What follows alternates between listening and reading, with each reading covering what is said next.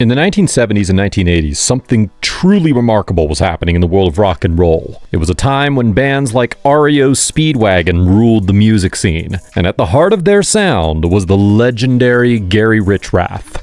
With a crown of curls that practically begged for the spotlight, he embodied the essence of a rock guitar god. As the lead guitarist of REO Speedwagon for almost two decades, he was the driving force behind their meteoric rise to fame, penning chart topping hits like Can't Fight This Feelin' and Keep On Lovin' You. However, every rise has its fall, and the journey back down was a challenging one, especially for Gary. What led to the demise of this iconic band? And what trials did Gary face along the way? Join us as we dive into the thrilling tale of their rise and fall a story filled with excitement, intrigue, and mystery. Let's begin. Imagine the thrill of climbing to the very top of the music world alongside your fellow bandmates. You've poured your heart and soul into your music for years, and it finally pays off. But then, in the blink of an eye, things change. The world you once ruled starts to slip away, and you're left looking up at it from below. This realization can be incredibly tough to accept, and Gary Richrath, just like his bandmates, faced this challenge in his own way. Gary's story is like that of a small town boy who chased his rock and roll dreams and became a star. But here's the twist it didn't end as perfectly as one might hope. Maybe he never thought about how it would end, or perhaps he didn't want to dwell on it. But there was a time when Gary was the rock star, especially in the Midwest. He wasn't just the face of REO Speedwagon, he played a massive role in shaping the band's music, writing some of their most famous songs, and being a guiding force both on and off the stage during the 70s and 80s. But as the 80s rolled on, everything started to change. The band members were getting older, and the world of rock and roll was shifting. Gary seemed to struggle more than most with these changes, making it a challenging time for him. Now, let's rewind to 1970. Back then, Gary was the missing piece that keyboardist Neal Doughty and drummer Alan Gratzer needed for their band. At that point, they were just a cover band playing other people's songs. But when they heard Gary play, they were blown away by his guitar skills and rock star looks.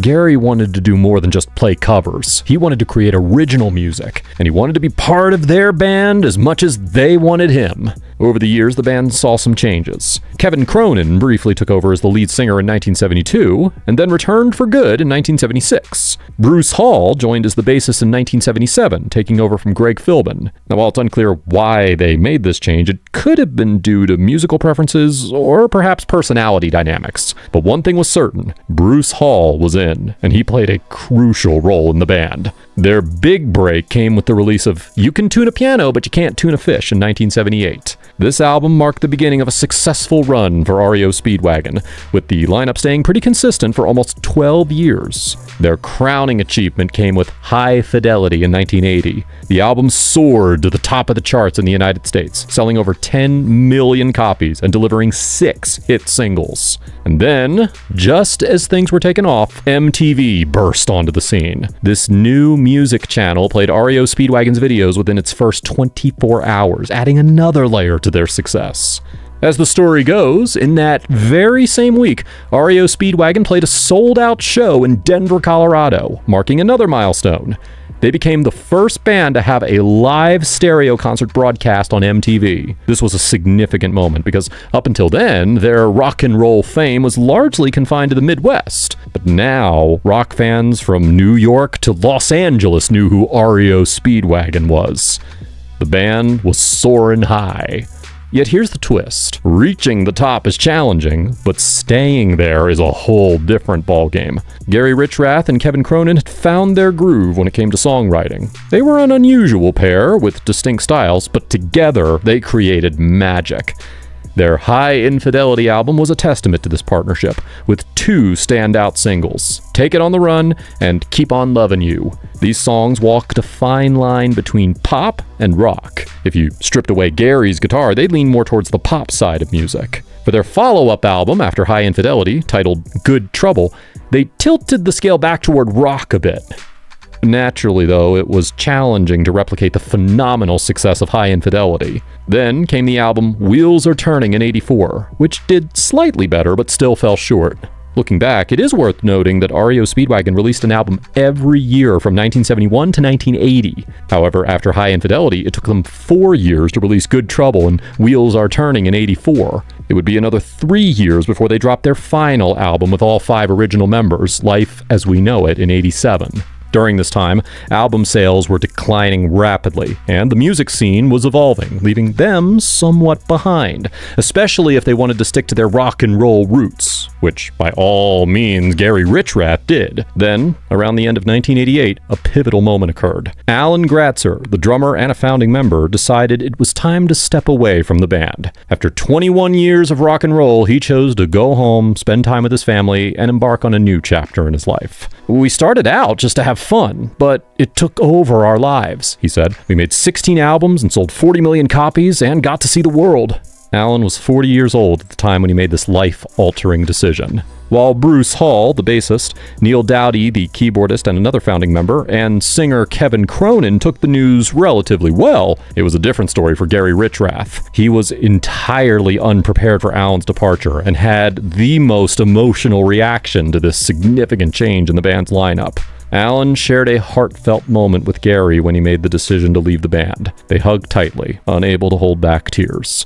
After all, they had been together for so long, and this parting was exceptionally tough. Kevin Cronin later admitted that he had no idea at the time just how deeply and on how many levels Alan's departure would affect the group. What's interesting is that Alan didn't simply leave the band. He retired from music altogether. He shifted his focus to being a father and a husband, and even ventured into the restaurant business. Meanwhile, the other four band members were determined to continue making music. However, it became clear that REO Speedwagon's run had reached its conclusion. The rock music landscape had evolved significantly by the time Gary left in 1990. Some of the top selling albums at that time included The Black Crowes' Shake Your Moneymaker, Cinderella, Heartbreak Station, and ACDC's The Razor's Edge. These albums provided a glimpse into the prevailing music trends in 1990. The problem lay in the different musical directions the remaining members wanted to explore. Gary was keen on one path, while the other three had a different vision. In retrospect, regardless of the path they chose, it seemed unlikely that REO Speedwagon could have saved themselves. The music they had written with Gary and Kevin was perfect for its time, but as with many bands, there comes a point when the musical landscape shifts and the magic of the past is hard to replicate. Gary decided to move on, putting together his own band and playing gigs. Meanwhile, Kevin, Neal, and Bruce sought replacements for Alan and Gary, recorded a new album, but sadly it didn't perform well. Epic Records dropped them from the label after almost two decades of partnership. It is worth mentioning that Gary later released his own album, but it didn't fare much better than the one released by the remaining members of REO Speedwagon. While Gary and his band, Richrath, played in bars and opened for shows around the Midwest, the glory days of REO Speedwagon were behind them. It was a far cry from their previous rock star status, but Gary gave it his all, and those who watched him perform in those smaller venues could see his dedication and passion. Kevin, Neal, and Bruce continued under the REO Speedwagon name, touring and playing their old hits. They essentially became a tribute band for their own music, drawing in crowds with their classic tunes. There was even talk of a reunion tour down the road, but it never materialized. Alan found happiness in his retirement, while Gary, despite his desire to continue, couldn't let go of the past. He struggled with the breakup and the transition from the pinnacle of rock stardom to a different phase in his life. Sometimes even rock stars need to know when it's time to move on and take care of themselves.